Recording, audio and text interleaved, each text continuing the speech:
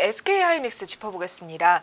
매수가 89,600원에 10%입니다. 너무 높은 자리라서 시간이 너무 걸릴 것 같아서 매도 후에 다시 시작할까요? 아니면 그냥 기다릴까요? 고견 부탁드립니다. 라고 호박고구마님이 SK라이스가 얼마라고 하시죠? 89,600원이요. 8만 9천 원. 네. 네, 한번 볼까요, 그럼? 아이고. 사실 그런 분들 보면 참 마음이 저도 굉장히 안 좋습니다. 자, SK 하이닉스 음, 어제장에서 7%가 빠지면서 이탈했습니다. 89,600원. 어, 오늘 지금, 지금이 82,600원. 그러면 음, 10% 10%는 아니네요, 그죠? 비중이 10%. 아, 그러니까 네. 손실도 10%. 아, 더 이상 매수하는 건 좀 자제하시기 바랍니다. 네.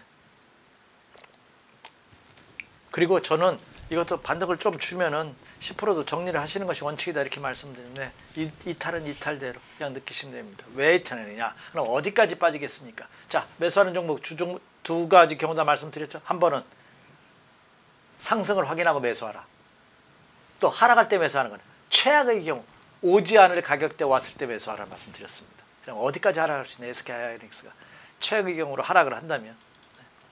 자 지금 보시는 거 주봉입니다. 네. 최악의 경우로 한다 한다면 어디까지 한번더 하락할 수는 있겠네, 그죠? 요 라인이 되겠네요. 8만 원 선이 살짝 붕괴될 수도 있어요. 지금 8만 2,600원 하루 이틀에도 붕괴될 수가 있겠죠. 어제 같은 것만 빠진다면 뭐 당장 붕괴. 그렇기 때문에 그 라인까지 올 때까지 기다리셔야 됩니다. 그, 그, 그 그때까지 왔다고 해도 상승되느냐? 그때도 그때부터 이제 바닥을 다지는 과정이 또 필요합니다. 그렇기 때문에 시간이 좀 필요하지 않을까 생각이 됩니다. 그러면 자, 이 반도체 관련주들이 어제 급락으로 인해서 그렇죠?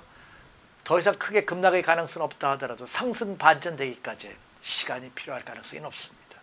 그리고 반도체 어제 급락한 이유가 두 가지 이유가 있죠. 첫째, 삼성전자의 D램 점유율이 50%에서 45%대로 떨어졌다는 점.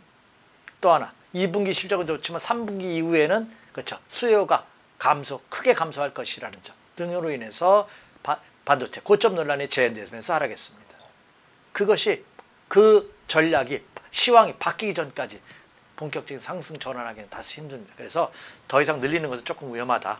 그래서 어, 갖고 계시다 하더라도 비중을 늘리는 것은 예, 상승 전환을 확인하고 아니면 그렇죠, 투매가 나오면서 급락 최대 매수할 수 있는 가격대 올 때까지 기다리시는 이런 전략이 필요하다 이렇게 말씀을 드립니다.